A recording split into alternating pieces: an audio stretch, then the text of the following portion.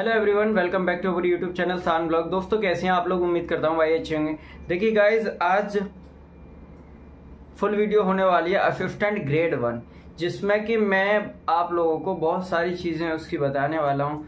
जैसे salary structure और selection process ठीक है मेडिकल के बारे में, और बहुत सारी चीज़ें आज इस वीडियो में क्लियर हो जाएँगी आप लोगों की, ठीक है? उससे पहले अगर आप लोग चैनल पर नए हैं तो जल्दी से सब्सक्राइब कर दीजिए बेल आइकन प्रेस कर दीजिए अपने दोस्तों में भी शेयर कर देना। इसलिए मैं इतनी मेहनत करता हूँ, बताओ। है ना? तो चलिए, बाकी तो आप लोगों को पता ही है भाई। अब सब्सक्राइब करना आपका काम है। तो चलिए चलते हैं। N P C L assistant grade one जो कि हेडक्वार्टर से वैकेंसी रिलीज़ हुई थी, ठीक है? जून में आई थी, और जिसका एग्ज़ाम अभी नवंबर 11 नवंबर 12 नवंबर 13 नवंबर को होने वाला उससे रिलेटेड बहुत सारी क्वेरीज थी आप लोगों की। तो आज वो वीडियो सॉरी आज वो क्वेरीज क्लियर करते हैं। बहुत दिनों से मतलब मैंने डाल रखा था। जो चाचा हैं कागरा पारा में, उन, वो असिस्टेंट ग्रेड वन एचआर की पोस्ट पर ही हैं, ठीक है? तो उनसे ही मैंने पूछा। उनकी, अब इन्होंने पूछा है, मेरे मेंबर ही हैं। जॉब डिस्क्रिप्शन भाई, आपको जिस टॉपिक पर वीडियो चाहिए, आप लोग कमेंट कर दिया करो कि इस टॉपिक से रिलेटेड वीडियो बनाओ, ठीक है? तो मैं बना दिया करूँगा। आप खुद बोला करो मुझे कमेंट करके। ज़रूरी नहीं है कि मैं मेंबर्स का ही भाई साहब, आप लोगों का भी मैं रिप्लाई करता हूँ, जाके देख लेना प्रीवियस वीडियोज़ में। और रिप्लाई भी करता हूँ वीडियोज़ में क्वेश्चन भी आप लोगों के भी उठाता हूँ, ठीक है? Job description actually assistant grade one का काम क्या होता है? हाँ पहला क्वेश्चन ये है असिस्टेंट ग्रेड वन का भाई काम होता है ओनली ऑफिशियल काम होता है। ऑफ़िस में आपको कोई भी काम कर, करवा सकते हैं वो लोग, ठीक है? चाहे आप सी एंड एम एम हो, या फाइनेंस वाले हों, ठीक है? या फिर असिस्टेंट ग्रेड वन हो। असिस्टेंट यानी कि एचआर का असिस्टेंट नॉट आप एचआर नहीं हो एचआर का असिस्टेंट ठीक है? तो आपसे कुछ भी काम करवा सकते हैं जो वहाँ पर ऑफ़िस में वर्क होता है, ठीक है? क्या सैटरडे संडे ऑफ़ होते हैं? भाई साहब, बहुत बढ़िया क्वेश्चन मतलब आप जॉब जाने से पहले छुट्टी मांग रहे हो, ये बहुत बढ़िया है यार. सैटरडे संडे ऑफ़ होते हैं. कहा? सिर्फ़ और सिर्फ़ हेडक्वार्टर पर भाई साहब पोस्टिंग भी तो हेडक्वार्टर में ही होगी तो सैटरडे संडे ऑफ़ रहेगा आप लोगों का, ठीक है? बाकी सारे यूनिट्स में सैटरडे संडे ऑफ़ नहीं रहता। और प्लस बात सैटरडे संडे ऑफ़ रहता है, ये तो कंफर्म है कि हेडक्वार्टर में सैटरडे संडे ऑफ़ रहता है। उसके अलावा, मैं आपको बता देता हूँ।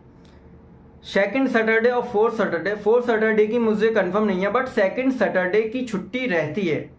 ठीक है? मतलब वहाँ पे तो second Saturday sorry Saturday Sunday off रहता है। जो अदर यूनिट है एनपीसीएल के, वहाँ सेकंड सैटरडे ऑफ़ रहता है। फोर्थ की मुझे पता नहीं है, ठीक है?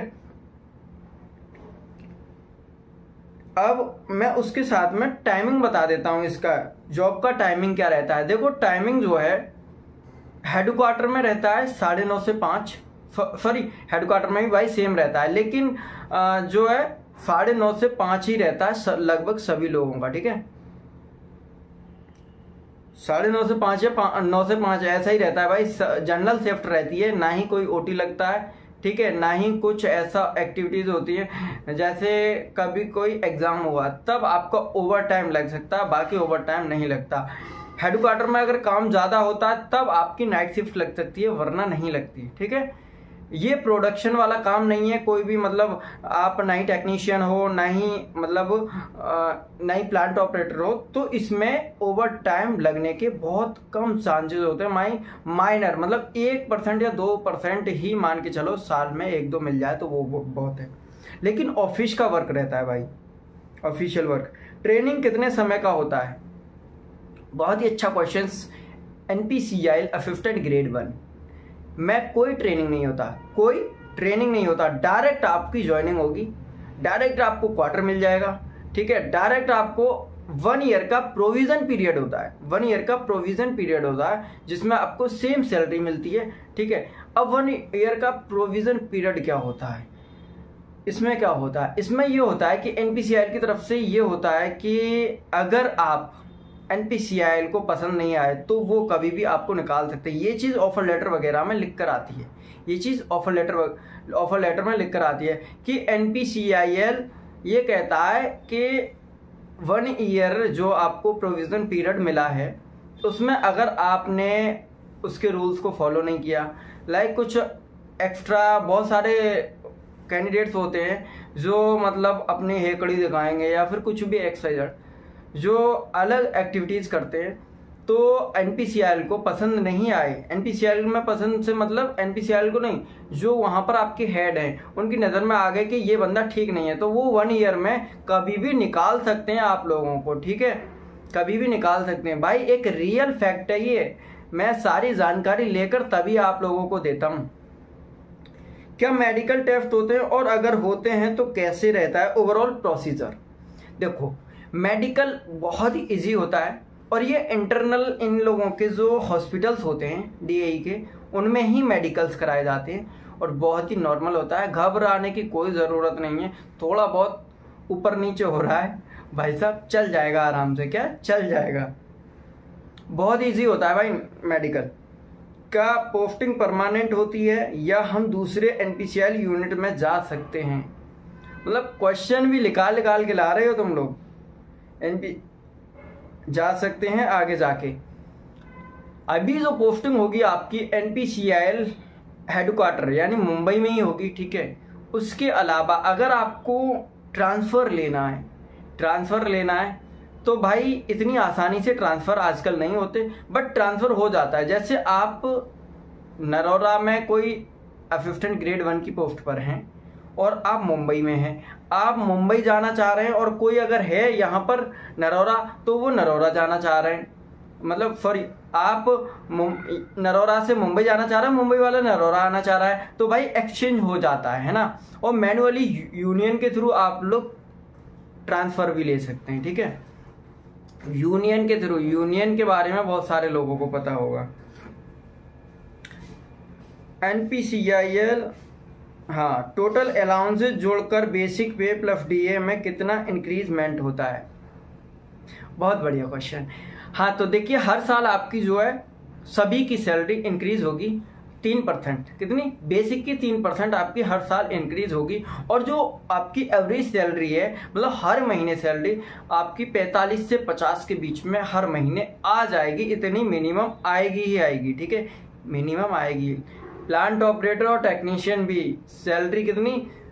सत्तर अस्सी हज़ार। इतनी मतलब आप लोग मिनिमम साठ, पचास मतलब असिस्टेंट ग्रेड वन से ज़्यादा होती है टेक्नीशियन भी, प्लांट ऑपरेटर की, इन लोगों की सैलरी। स्किल टेस्ट के बहुत डाउट्स हैं सभी को। क्या एम एस वर्ड पर होगा? टाइपिंग टेस्ट या दूसरे किसी प्लेटफॉर्म पर? डिपेंड ऑन सिचुएशन कि वो लोग डिपार्टमेंट वाले किस चीज़ पर आपका स्किल टेस्ट कराते हैं। लाइक like जो टाइपिंग टेस्ट होता है, वो डिपेंड करता है वहाँ पर, ठीक है? किस चीज़ पर कराते हैं।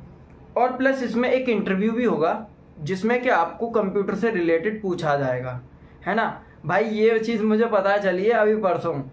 जब मैंने कॉल पे बात की, जब मैंने हेडक्वार्टर बात की थी ना, तब मैंने उनसे भी बात की थी, उसी दिन मुझे पता चला था। तो इसमें क्या होता है, स्किल टेस्ट में जैसे कि आपका पहली बात तो आपको कोई जैसे सैलरी स्लिप दे दी, या फिर कुछ प्रेजेंटेशन दे दिया पेज दे दिया, उसको आपको टाइप करवाएँगे एम एस वर्ड वगैरह पे पावर पॉइंट में एस इस तरीके से करवाएँगे, जैसे एम एस ऑफ़िस का ही वर्ड काम होगा, ठीक है? उसके अलावा आपसे क्वेश्चन क्वेरी करेंगे, ठीक है? पूछेंगे। उसके अलावा टाइपिंग टेस्ट तो होना ही है, ये तो कन्फर्म है है ना? और उसी दिन डॉक्यूमेंट वेरिफिकेशन भी होता है। कंप्यूटर प्रोफिशिएंसी टेस्ट में किस लेवल के सवाल रहते हैं? हाँ भाई, बता दिया मैंने। वर्क आवर ओवर टाइम का क्या सीन है? तो ये भी चीज़ मैंने बता दी। और अगर आपको और कुछ जानना है तो आप लोग ज़रूर कमेंट कीजिए। एक भाई ने कमेंट भी किया था, वो शायद उसमें तारापुर असिस्टेंट ग्रेड वन में सेलेक्टेड है ना? तो उन्होंने कुछ पूछा था, वो शायद मैंने बता दिया था।